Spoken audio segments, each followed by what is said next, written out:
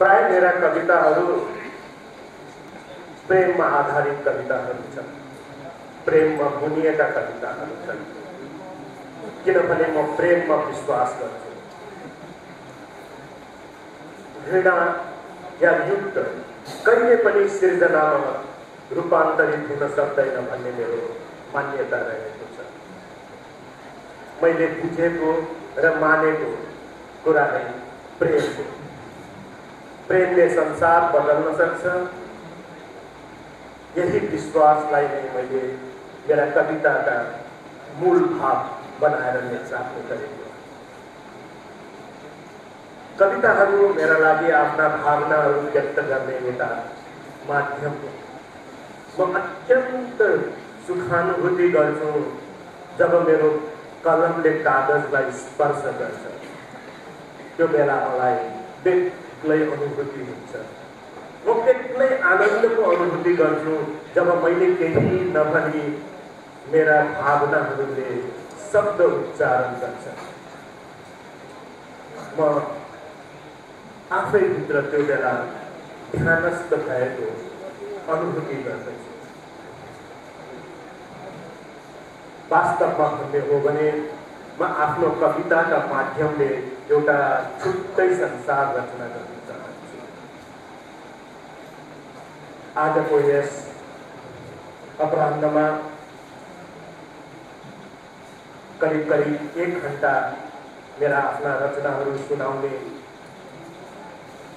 मैले तय गरेको छु। केही एक दर्जनभन्दा केही बढी तर यस बिचमा यहाँलाई उराट लाग्यो भने कृपया मलाई भनिदिनु होला म आफ्नो कविता वाचनलाई सङ्कुचन गर्दै लैजानेछु आजको कविताको थालिनी म मेरा पूजनीय पिताजीलाई श्रद्धा सुमन अर्पण गर्दै गर्दछु एक्लो हुँदा या मनमा उदासीका बादल बढारिँदा मैले समझने व्यक्ति मेरा पिताजी।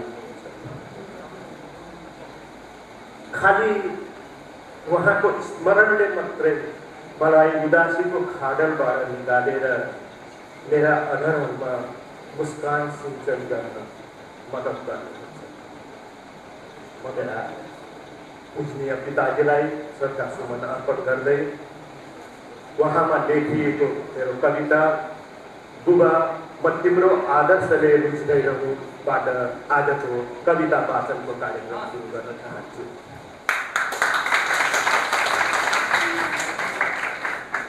कता हराएछन् कोपिलाको हाँसो कता हराएछन् कोपिलाको हाँसो किन मलाउँछन् फुलहरू फुल्नै छाडेर कता हराएछन् कोपिलाको हाँसो किन मलाउँछन् फुलहरू फुल्नै छाडेर?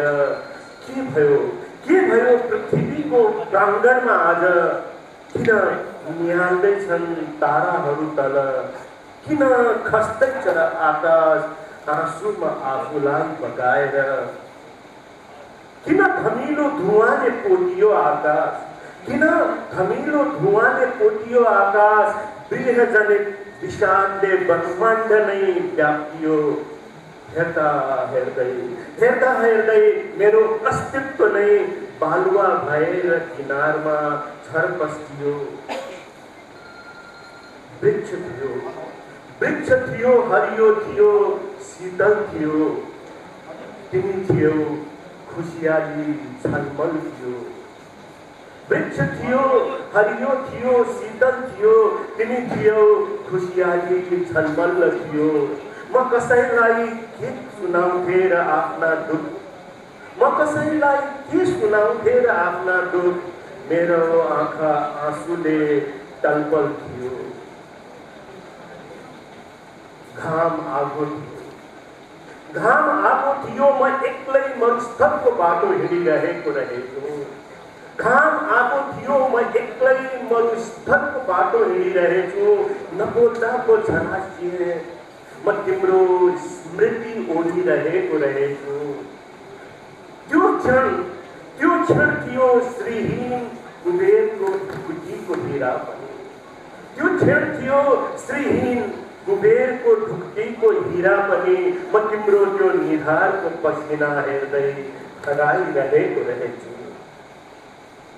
तिमी थियौ र आँट थियो। तिमी थियौ र आँट थियो जीवन थियो तिमी छैनौ कसरी भनौँ? जीवन जीवनबाट जोइदियो। हेर्दा हेर्दै खरानी खरानी भयो मेरो आकाश तर तिम्रो आदर्शको आवाज छुटिएन मबाट। हृदयभित्र हृदयभित्र जबसम्म हुन्छ तिम्रो शान्त छविको बास। हृदयभित्र जबसम्म हुन्छ तिम्रो शान्त छविको बास। बिना श्वास पनि म बाँच्नेछु मेरो यो दृढ विश्वास। हे बुबा हे बुबा यो आकाश भन्दा असीम छ। हे बुबा यो आकाश भन्दा असीम छ। धेरै गुना असीम तिम्रो श्रद्धाले सुसज्जी म भित्रको मेरो आकाश तिम्रो श्रद्धाले सुसज्जी म भित्रको मेरो आकाश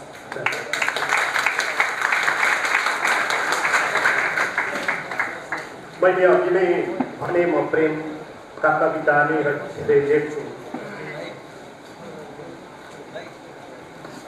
अब म केही कविताहरू प्रेममा आधारित रचनाहरू पस्किने अनुमति चाहन्छु।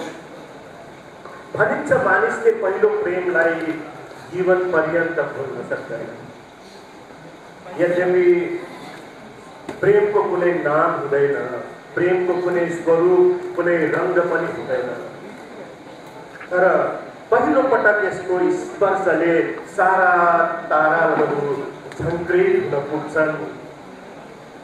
त्यसको सुगन्धले सारा जीवनलाई सुवासित बनाइदिन्छ। त्यसको रङ्गले आत्मालाई नै सुन्दर बनाइदिन्छ यही भावभूमिमा रचिएका मेरो कविता पहिलो प्रेम पत्र यहाँ प्रस्तुत गर्न चाहन्छु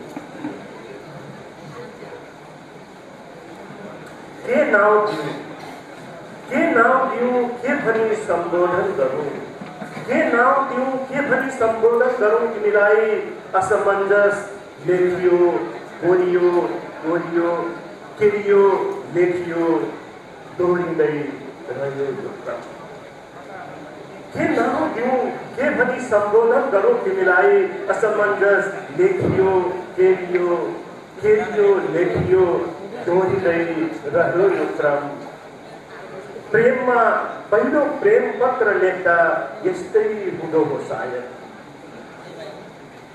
कस्तो सुन्दर पावन नाम? कस्तो सुन्दर पावन नाम? जसै व्यक्तिन्छ निमेषमै फेरि अनर्थक बेदुख लाग्छ। पाना च्यापचुप पार्न तम्सिन्छु। पाना च्यापचुप पार्न तम्सिन्छु। तर कसरी सक्नु? त्यसमा तिम्रो नाम जुन कोरिएको छ। पत्रमा अङ्कित नाम मात्रमा पनि तिमी देख्नु। त्यसमा छुँदा पनि मुटु धर्किनु बहुलक्षित हो नै तर त्यसैमा जिउनुको आनन्द मिल्नु यही निरालापनलाई के भन्नु यही निरालापनलाई के भनौँ म। के दिउँ यसको नाम, जे होस् परम तृप्ति होस् जे होस् परम तृप्ति होस् भय पनी के भो रयो अनाम। भय पनी के भो रयो अनाम। धन्यवाद।